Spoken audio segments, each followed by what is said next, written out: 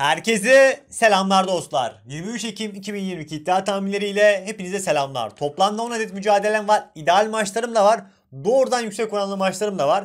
Değerlendirecek herkese şimdiden bol şanslar. İsterseniz direkt başlayalım. Bir adet skor yarışmamız var. Skor yarışmamız Roman-Napoli mücadelesi. Sizce maç skoru ne olur sizlere sorduk. Hafta sonu olduğu için bilen iki arkadaşımız katı Telegram gruplarımıza dahil edeceğiz. Maç skoru ne olur sizlere sorduk. Benim skor beklentim 2 birlik bir Napoli galibiyeti. Sizler de kendi düşüncelerinizi yazabilirsiniz. Herkese bol şanslar efendim. Geçtim bunu. Günün yüksek mislisi Cuma günün yüksek mislisi başarılı oldu. Antalya maçına doğrudan maç sonu 1 olaraktan da önerdim ben. Çünkü Antalya'yı biraz araştırmıştım. Birazdan zaten bahsedeceğim. Herkes açık grubuna da attım zaten. Hatta yüksek misli olarak da anlatacağım.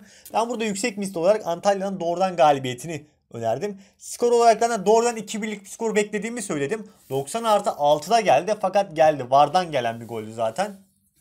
Buz gibi goldü. Vara gitmeye de ihtiyaç yok. Yan hakem offside kaldırdığı için Vara gittiler. Yüksek mislimiz başarılı oldu. Değerlendiren herkese tebrik edelim diyerekten de yüksek mislimizde de devam ettik.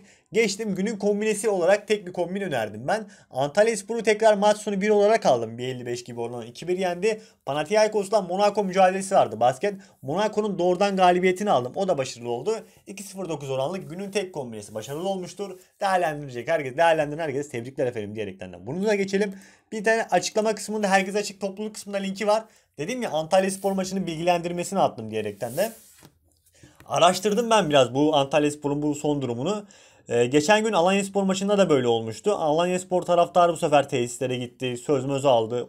oyunculardan, takımdan, teknik hocadan söz aldı. Galibiyete uzandı Antalya karşısında. Bu hafta aynı senaryo Antalya Antalya tarafına gerçekleştirildi. Antalya'nın da galip gelmesini bekliyorum. Hatta doğrudan 2-1 skoru da verdiğimizi belirteyim bu arada.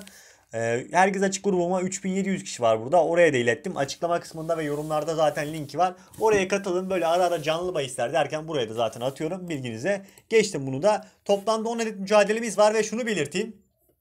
Bakın rolling yapıyoruz başlığıyla devam ediyoruz. Bir maçım var şimdi.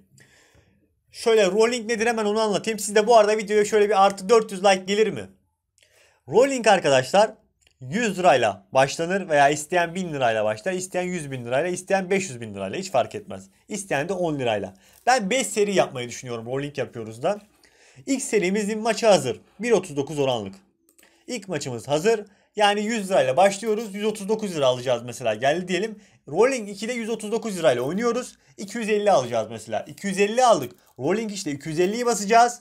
Ee, 500 aldık diyelim. 500 aldık. Rolling 4'te 500 basacağız. 1000 alacağız. 1000 basıp 2000 alacağız. 5 seri yapmayı düşünüyorum mesela. Başlayalım isterseniz. İlk mücadelemiz hatta direkt rolling maçıyla başlamak istiyorum. Ben Galatasaray mücadelesi bir rolling yapmayı düşünüyorum. Dediğim gibi tek maç olaraktan da. Şimdi ben burada arkadaşlar Galatasaray tarafındayım. Alanya Spor'u da yakından takip ediyorum. Galatasaray'da zaten her maçını izlediğim iki takım.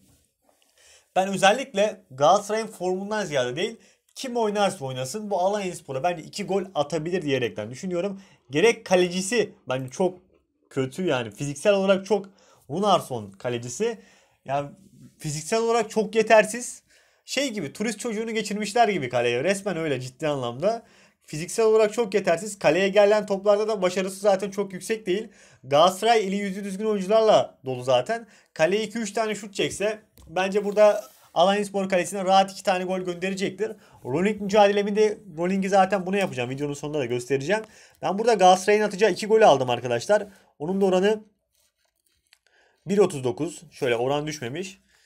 1.39 oranı var. Galatasaray burada bence 2 gol atar Alanyaspor'a. Hatta benim skor beklentim 3 birlik bir Galatasaray galibiyeti olduğundan ev sahibi 2.5 üstü de sizler 2.39 gibi orandan yüksek oran öneririm. Değerlendireceklere bol şanslar.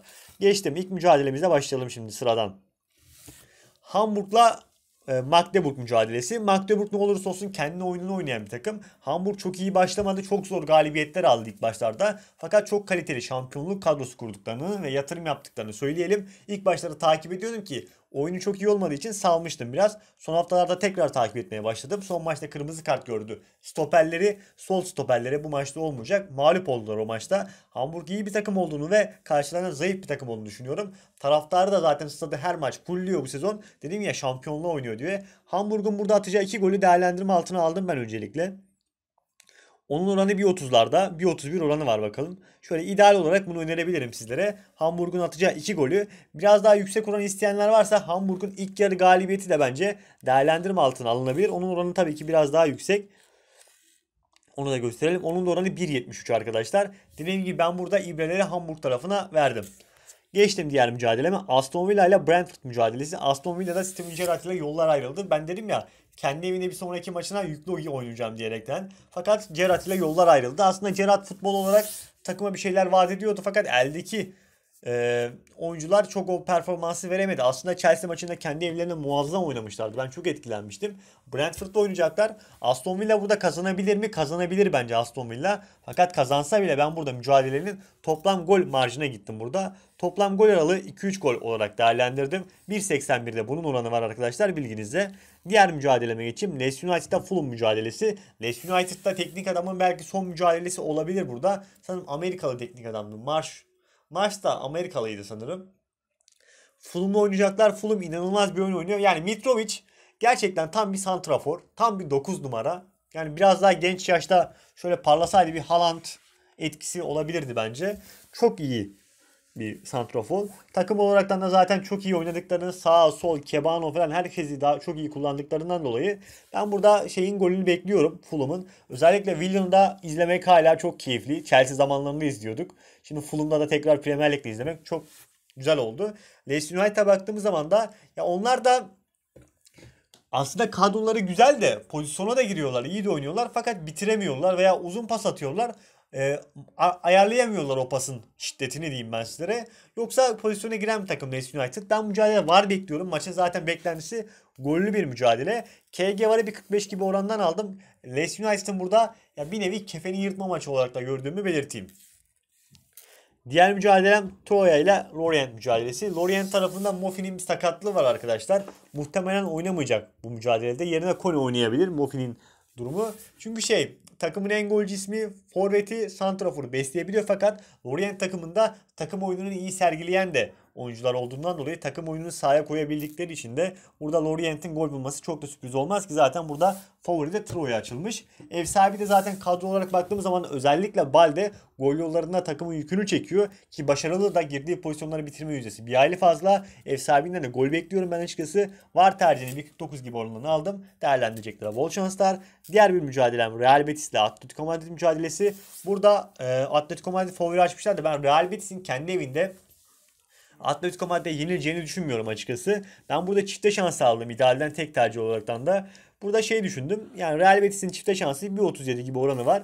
Atletico Madrid ne kadar iyi takım olsa da Real Betis kendi evinde kolay kolay yenileceğini kesinlikle düşünmüyorum. Atletico Madrid deplasmanlarda zaten bu tip takımlara karşı mesela bir Bilbao galibiyeti aldı fakat maçta ezildi. Ama galip gelmesini bildi. O şeyi var, tecrübesi var. Fakat Real Betis de Atletico Bilbao gibi oyun sergileyecektir. Biraz da şansının yardımı olursa ben bu maçta Real Betis'in yenilmeyeceğini, yenilmeyeceğini düşünüyorum. 0-1 çifte şansı öneririm.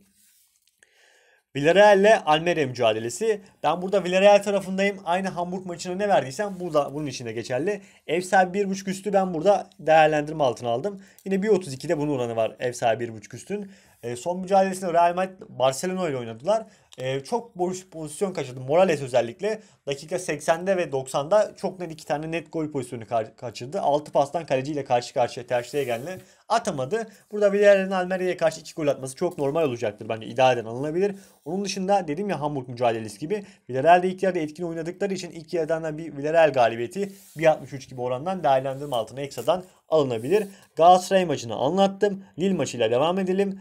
E, Lille'de ama ben maçını aldım. Korner aldım arkadaşlar. 8.5 üst korner olarak değerlendirdim. 1.41'de oranı var. Lille'de Monaco'da etkin oyna. Özellikle burada 2-1'lik bir Monaco galibiyeti bekleniyor. indeks beklentisi. Fakat Lille takımının da ben burada kolay kolay vereceğini düşünmüyorum. Özellikle kendi evinde olmasından dolayı da baskın oynayacaktır. Monaco'da aynı şekilde kanatları ve bolca şut denemesi yaptığından dolayı korner şansımız yanımızda olursa 8.5 üst korner aldım. Başka bir şeye bulaşmadım. 1.41 gibi orandan. Diğer mücadelem Roma ile Napoli mücadelesi. Napoli'nin şansı devam eder mi? Diyorum da şans değil bu. Takım oynuyor açıkçası. Osimhen de yavaştan takıma döndü. Roma ile oynayacaklar.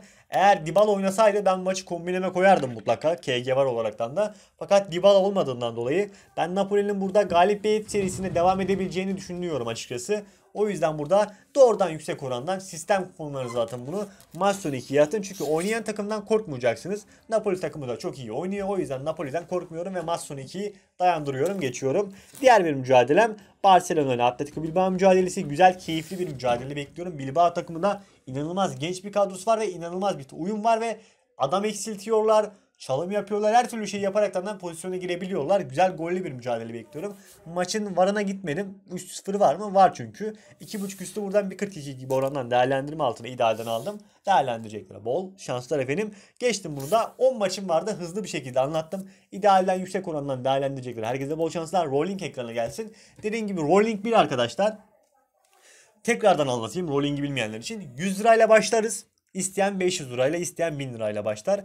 5 seri yapmayı düşünüyorum. 5. seride sonlandıracağım. Seri 1 100 lirayla oynadık. 139 lira mı aldık? Sonradan 139 lirayı basacağız. Rolling 2'de. 250 alacağız mesela. O Rolling 2 geldi mi? Rolling işte 250'yi basacağız. 500 alacağız mesela. Anladın mı? Bu kadar basit. Mutlaka biliyorsunuzdur.